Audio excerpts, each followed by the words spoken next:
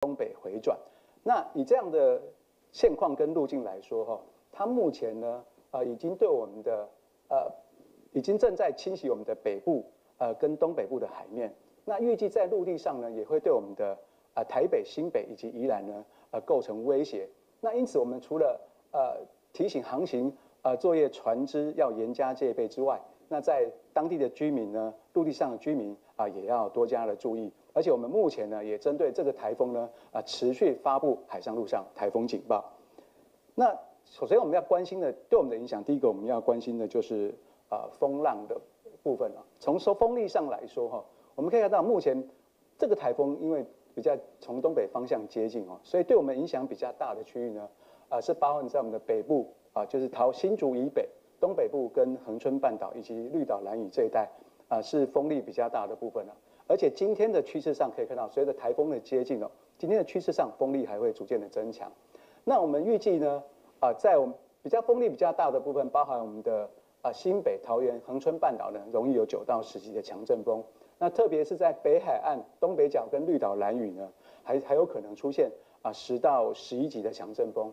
另外在呃大台北啊，还有新竹、宜兰、屏东的沿海，风力也会是比较强的哦，大家一定要特别注意。那至于海面上的风浪的部分呢？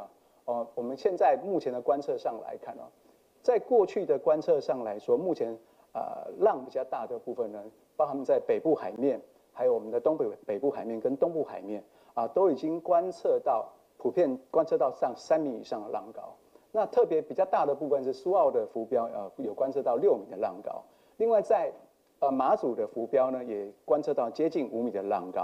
那今天随着台风接近啊，风浪的部分呢也会啊逐渐的增强。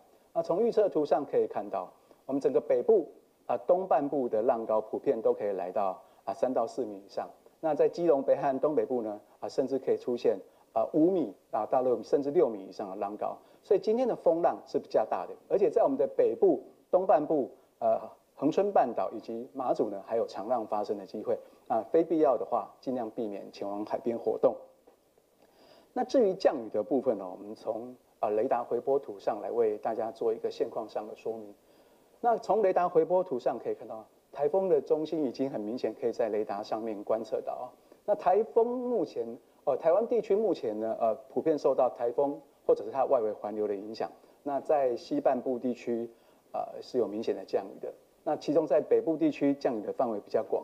那中南部地区的话，比较明显的雨势是集中在山区，那中南部的平地也有一些间歇性的降雨。那可以看到目前雨势比较大的地方啊，包含我们的基隆北海岸啊，跟各地的山区啊，目前都是降雨上来讲比较明显的地方。那未来的下雨的趋势呢，我们由趋势我们的呃定量降水来为大家做个说明哦。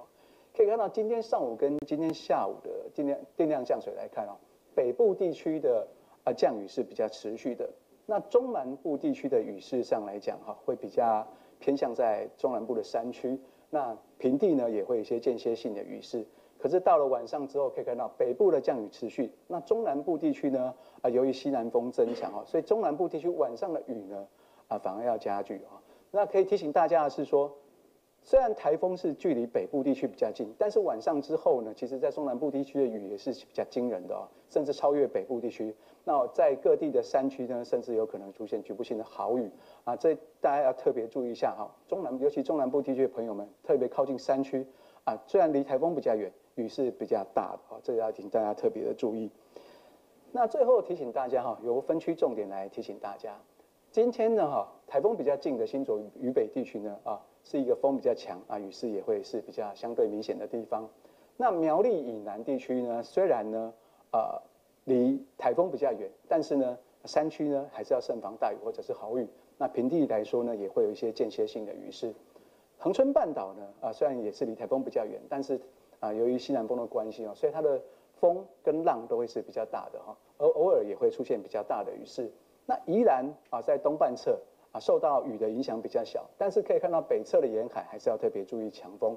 那华东地区呢，啊，相对在背风侧啊，雨跟风的部分没有那么明显。